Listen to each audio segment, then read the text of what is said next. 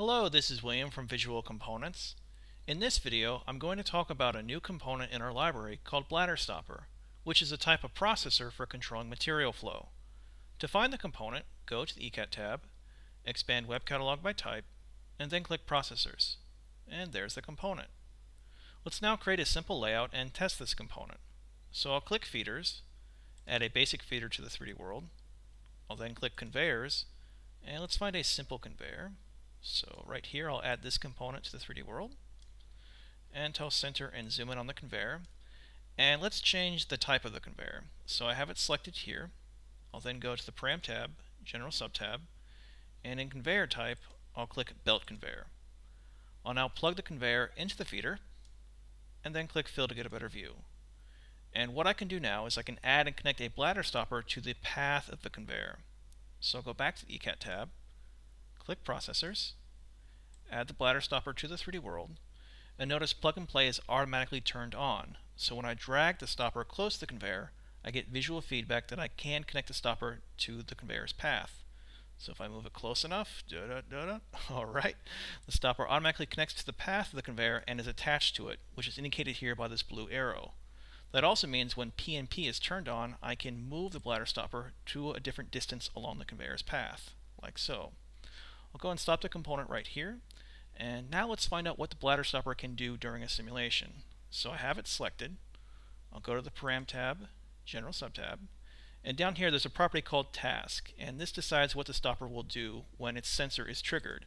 It can either do nothing, alright, it can stop the part for a time delay, it can stop the part until it receives a signal to release it, or you can control everything using a PLC. So for the second option here, stop parts during a delay, use the delay property to indicate how long you want to stop the part for. So in this case, it's one second. So if I run the simulation, it'll wait for the part to re reach the sensor, stop, and then release it. So once again, it stops it, and then releases it. I'll reset the simulation. And now for the third option of stop parts until release signal, the bladder stopper has a signal name listed here called release signal. And when this is true, it will release a part. So to simulate this, I need to add another component to the 3D world. I'll go to the ECAT tab, click Conveyors, and let's search for a sensor conveyor. So in the search box, I'll type in sensor, and I'll add the sensor conveyor component to the 3D world. Let's go and adjust the view just a bit. There we go. And in this component here, it has a sensor, and when the sensor is triggered, it will send a signal, and that signal can be used to connect to the bladder stopper here. So I have the sensor conveyor selected, PNP is turned on, and on the dynamic toolbar I'll click this command here called connect signals. This opens a connection editor, and for the signal I need to connect, I need the sensor boolean signal here, and I'll go ahead and click the bladder stopper in the 3D world, or I could use the drop-down menu here. And the signal I need to connect it with is called release signal. There we go. If I click connect, everything's set up, and there you go. So when a part triggers the sensor here, the bladder stopper will then release any part that it has hold. So let's click close, and let's go and copy and paste this feeder here and connect it to this conveyor. So I'll select the basic feeder, right click, then click copy, right click, and then click paste. I'll turn on PNP and plug the feeder into the sensor conveyor. Now the speed of these conveyors is actually the same, so I'm going to select the sensor conveyor here, go to the Param tab, and the general subtab for conveyor speed, I'll change this from 250 to be 150. And press the enter key. So now I'll run the simulation. We should see the parts be slower on this conveyor, but faster here. The bladder stopper stops the part, and it waits for this signal here, and yep, it releases it. So once again, it stops, waits, and then releases. Let's go and reset the simulation, and select the bladder stopper. Now, the final type of task you can perform with this component is to use a PLC program. So in this case, this component has PLC signals already set up for a connection. They're called close stopper, stopper is closed, and part in stopper. So notice I already have the PLC add-on installed on my device and licensed.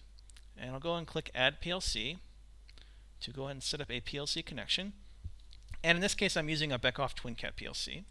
So I already have one running on my device, so I'll select it here, click OK. Now I need to give the signal names a group, so I'll just type in main and use an update rate of 10 milliseconds, and then click OK. And now I need to go ahead and connect or uh, map all my signals to the PLC. So I'll go and show you the program I have set up.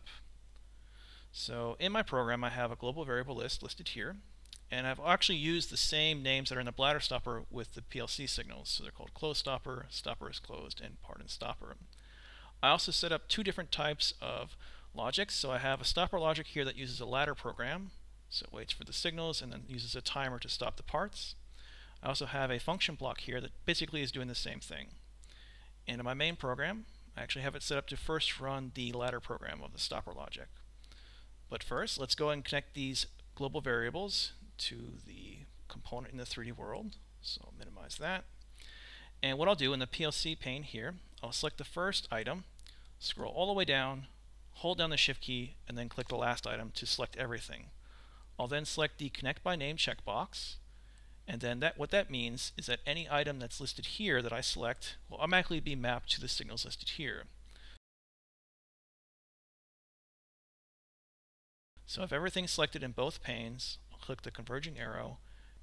Now you might want to double check your connections here before you add them. So everything looks fine. So go and click add and notice now all the signal and their maps are listed here in the PLC add-on. I'll click close and let's go ahead and test this out. So my PLC is already running. If I now run the simulation, it should automatically stop the part, wait for the PLC, and then go ahead and release it. So yep, there it goes again. So let's see this as it's running in the PLC. Alright, this concludes the video. If you want to see more videos about types of components, just let us know by visiting our community at community.visualcomponents.net. And as always, have a wonderful day.